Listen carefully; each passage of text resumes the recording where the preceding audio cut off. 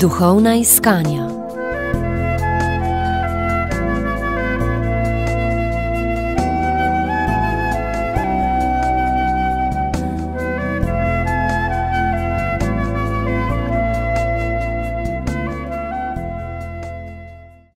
Dobro jutro, drage poslušalke in poslušalci.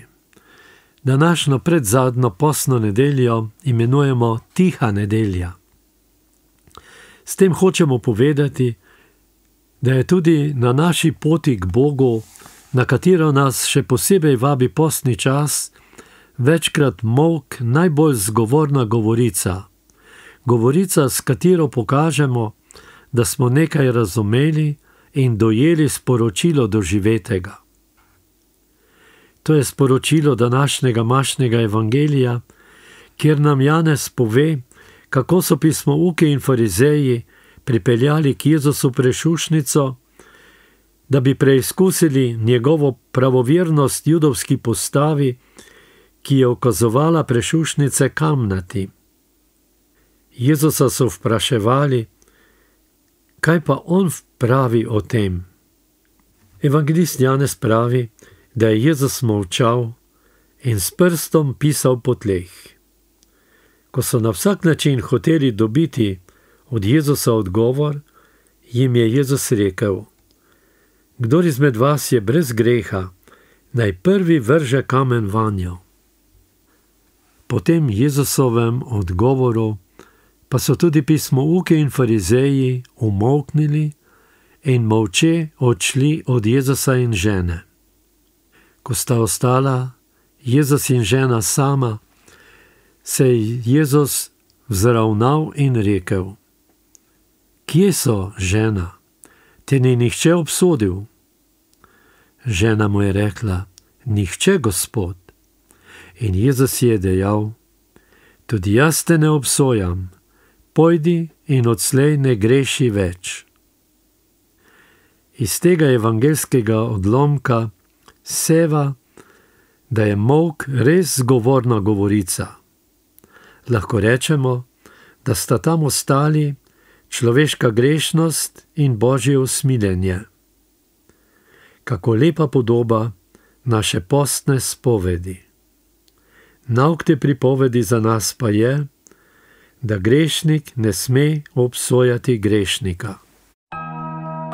Tudi v meni danes odmeva Jezusovo vprašanje iz današnjega evangelija: Kje so žena, te ni nihče obsodil? In vedno znova me pretresajo Jezusove besede: Tudi jaz te ne obsojam. Priznavanje lastne grešnosti je velika milost, nikakor ni samoumevno.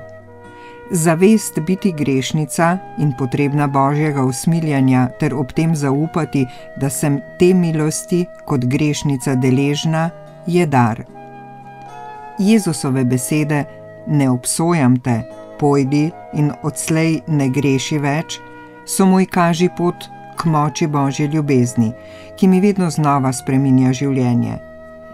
Jezus prihaja, da mi razodene resnico Boga, Očeta in me osvobodi iz ujetosti v podobo Boga, ki obsoja. Kakšna milost je to, da se lahko moje srce ogreje in omehča ob srečanju z Jezusom, ki ne ostaja v obsojanju grešnikov, pač pa nas grešnike ljubi. Kot v eni svojih molitev pravi sveta Terezija: Zaupajmo Bogu, da smo natančno tam, kjer moramo biti. Ne pozabimo na neskončne možnosti, ki jih rojeva vera, naj nam služijo darovi, ki so nam bili dani, in naj se širi ljubezen, ki nam je bila podarjena, da bi bili zadovoljni, ko smo božji otroci. Zato bodimo ponižni, zavedajmo se svojih šibkosti in jih priznavajmo.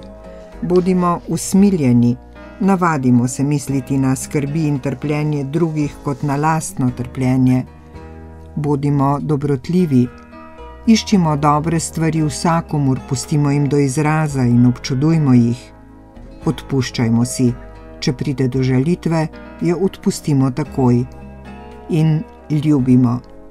Ljubiti pomeni biti ob nekom, ko drugi niso. Imeti čas za ante daj, ko ga drugi nimajo. Ljubiti pomeni nekoga dvigniti iz njegove izgubljenosti in brezciljnosti, približati se mu kljub njegovi brezbrižnosti in grešnosti.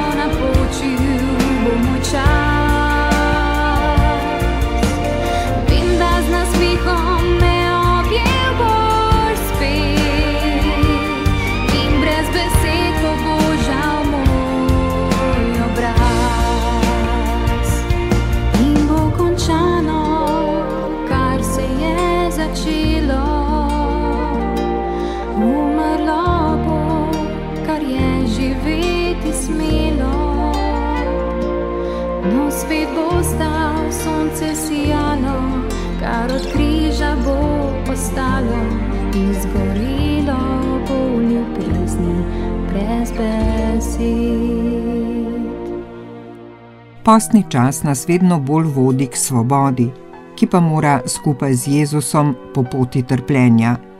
In prav v času današnje pete postne nedelje, ki jo poznamo tudi kot tiho nedeljo, do velikega petka je glavna misel bogoslužja trpljenje Jezusa Kristusa.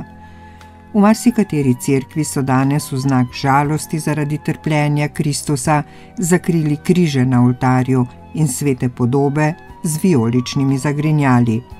In zagrnjeni bodo ostali do konca obredov velikega petka, svete podobe pa do začetka velikonočne vigilije.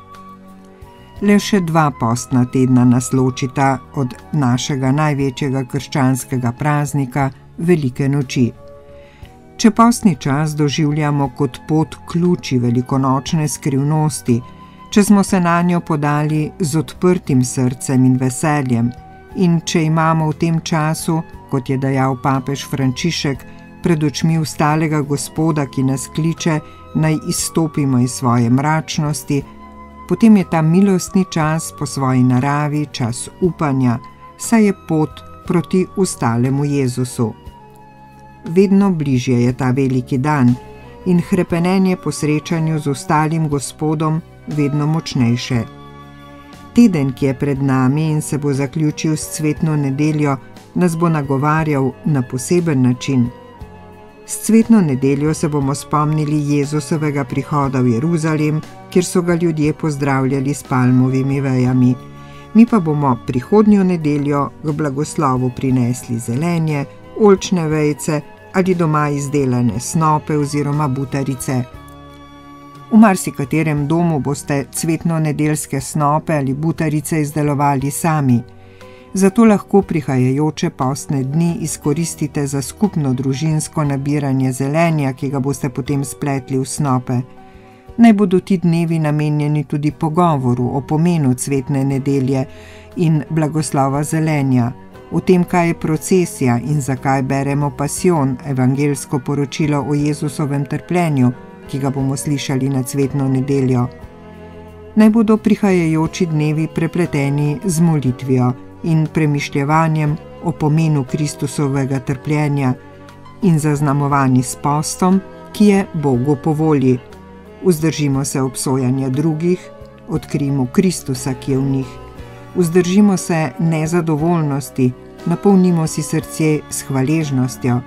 Vzdržimo se pesimizma, napolnimo se s krščanskim upanjem. Vzdržimo se zaskrbljenosti in si srce napolnimo z molitvijo in krščanskim upanjem.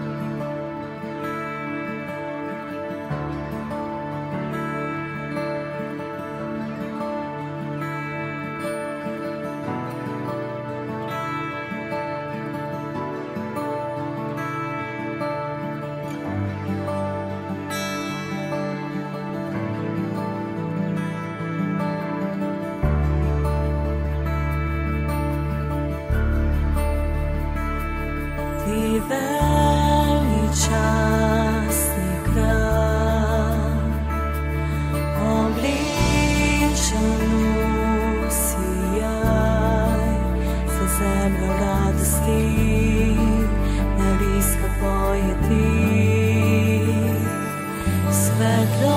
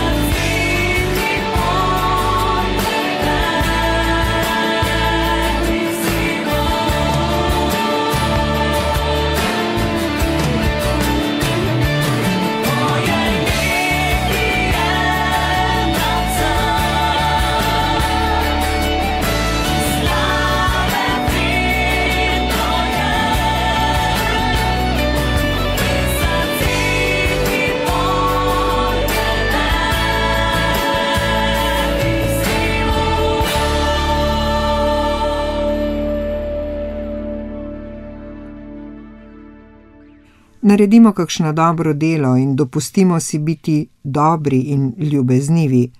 Vsega tega vam v pripravi na cvetno nedeljo v obilju želimo ustvarjalci današnje vdaje Jože Pribožič, Tatjana Hudomal in tehnik Dragan Brkenjačevič.